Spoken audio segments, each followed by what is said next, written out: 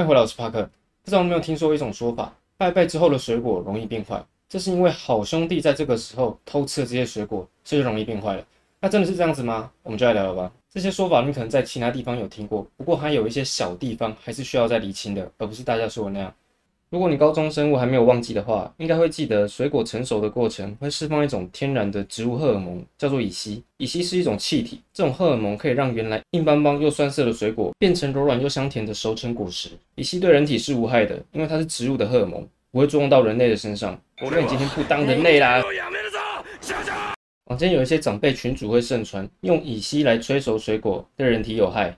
没有啦，真的没有害啦，不要再乱传了。讲完这个植物荷尔蒙乙烯，我们就来讲讲为什么拜拜后的水果容易变坏。我们拜拜时候所燃烧的香，它也会释放乙烯。乙烯我们刚刚就说过，它可以催熟水果，而且我们拜拜的时候会习惯将水果放在室外，这时候水果受到太阳的照射，再加上夏天天气特别炎热，水果在高温下更容易自己释放乙烯，所以两相加成之下，水果当然就容易变熟，甚至是腐坏。这就是为什么拜拜之后水果特别容易变坏的原因。不过这样还没结束哦，线香燃烧的时候，除了产生乙烯之外，还会产生另一个物质，叫做多环芳香烃。顾名思义，它的构造里面有很多这种圈圈。如果是煤炭、瓦斯、热色燃烧不完全的时候，就容易产生这些物质。线香燃烧的时候也会有这些东西，这种物质多半对人体有害，甚至有致癌性。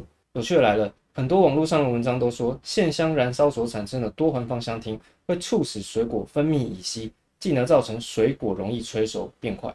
可是我们找了很多国外的文献，都没有提到线香产生的多环芳香烃会促进水果分泌乙烯啊。那些资料几乎都是说线香产生的乙烯反而才是会催熟水果的原因。而且如果是要有多环芳香烃直接炼成乙烯，还需要非常多繁复的加工过程，像是在高温下对石油进行裂解反应，这是其中一种可以产生乙烯的方式。但你说这些一圈又一圈的东西会直接促进水果分泌乙烯，这方面的资料我们还真的找不到。有可能是我们的资料不够全面。